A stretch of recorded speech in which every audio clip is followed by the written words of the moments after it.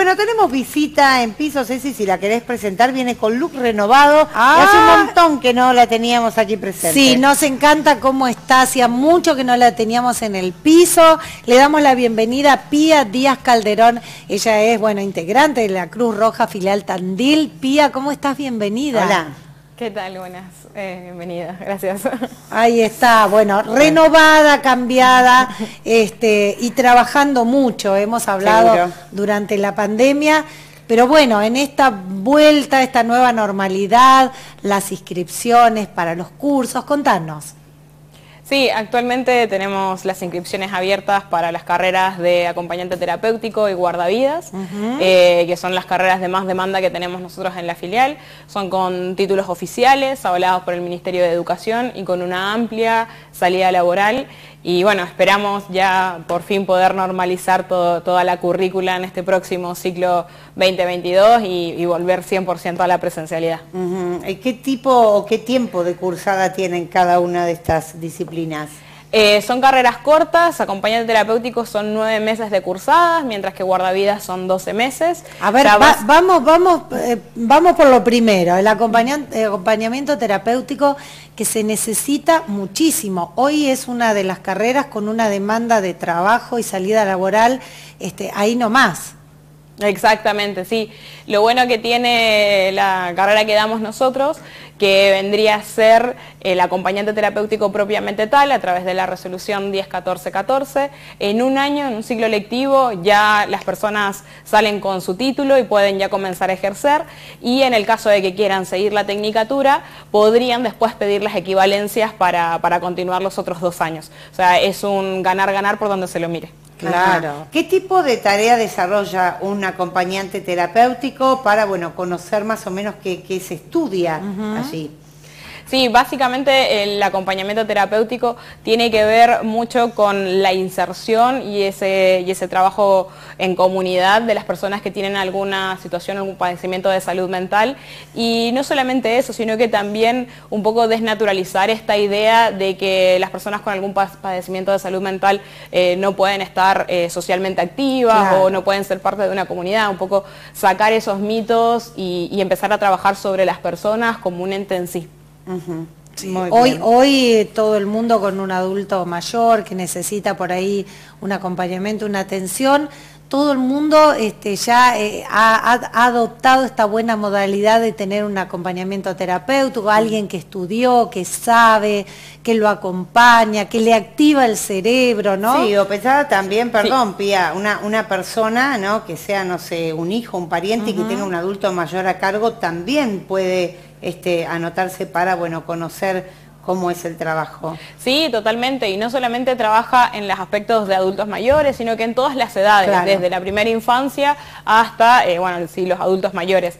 Eh, y lo bueno de, la carrera en sí, y lo bueno específicamente que aporta todo lo que es la organización, es este, este trabajo humanitario hacia las personas y observarlos en ese, en ese vínculo completo con, la sociedad y con, el mundo en sí.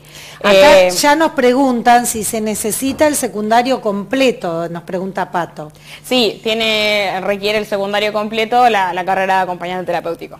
Bien, muy bien. ¿Y hay algún otro tipo de requisito excluyente para poder anotarse? Básicamente ser mayor de 18 años o tener, eh, cumplirlos antes de julio y eh, ser eh, tener el secundario completo. Son los dos grandes requisitos que tienen, después el calendario de vacunas propios que, que te da el Sistema Integrado de Salud. Bueno, y recuerdo bien, Pía, cuando viniste a anunciar aquí eh, este curso de salvataje, que decíamos, bueno, innovador para la ciudad de Tandil y que tuvo una repercusión impresionante. ¿Ya eh, en qué, cuántos años hace de esto? Y esta va a ser nuestra, el siglo XXII, nuestra cuarta corte de, guardavidas eh, formados, certificados y que ya tenemos un par eh, trabajando en España. Así que en España. realmente muy bien. bien. ¿Y, cómo, y esa, esa currícula cómo se lleva adelante? ¿Dónde se hacen las prácticas? Las prácticas nosotros tenemos un convenio con el Natatorio de Unión y Progreso, eh, en donde hacen toda la parte de, pileta, de aguas, que son tres grandes materias, natación, eh, técnicas estrategias de salvamento y salvamento aplicado. Eh, las hacen en Unión y Progreso, siempre a la noche.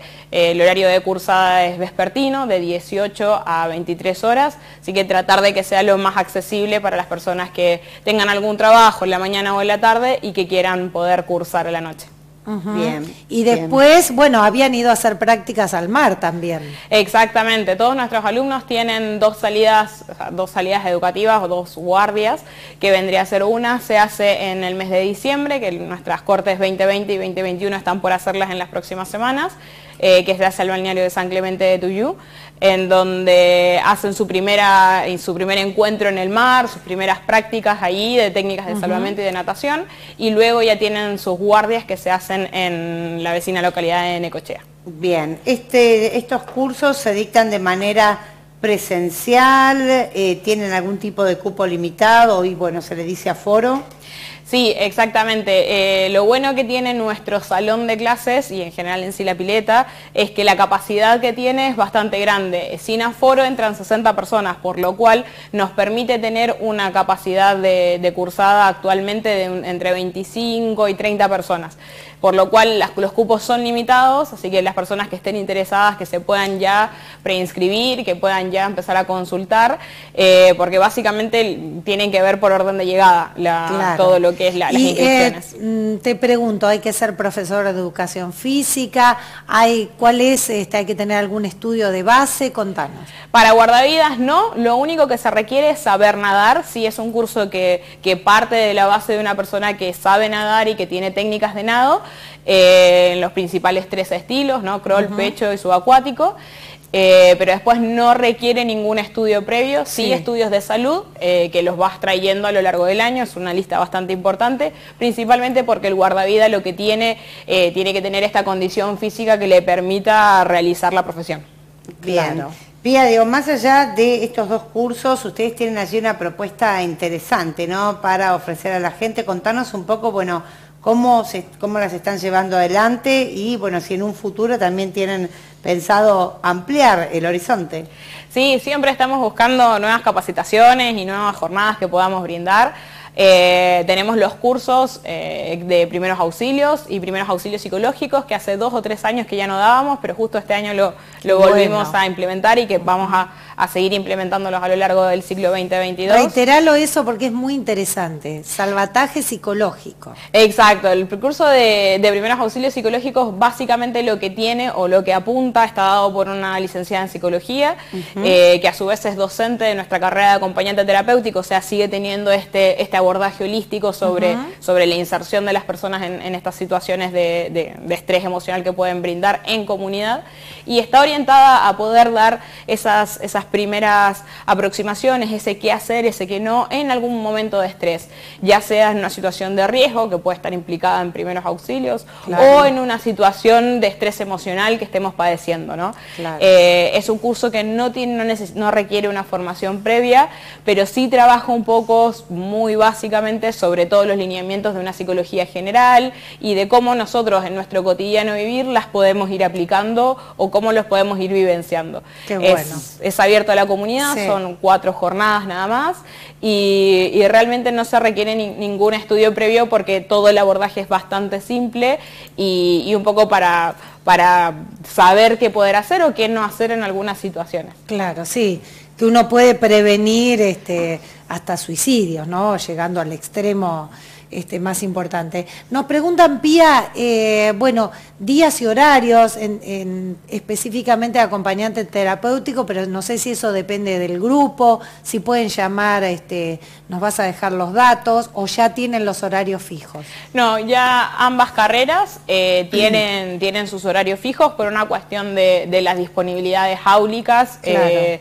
que tenemos en la, filial. Acompañante terapéutico se va a dictar los días lunes, miércoles y viernes de 7 de la mañana a 13 horas y guardavidas se dicta de lunes a jueves de 18 a 23.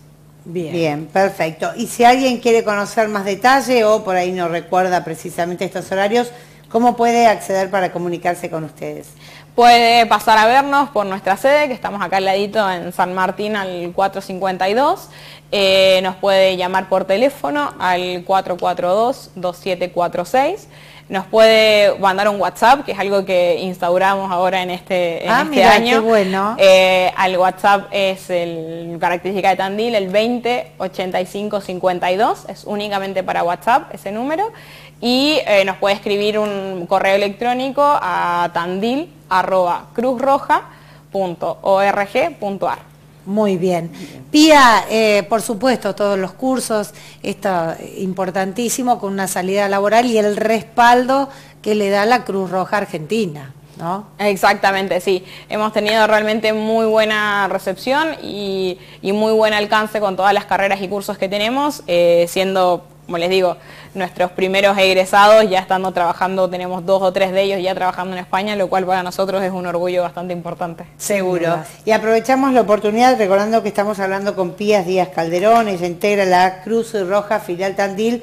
Pía, ¿qué balance podés hacer de lo que ha sido este año bastante más tranquilo, ¿no? De lo que fue 2020 con toda la intervención que tuvieron ustedes a raíz de la pandemia.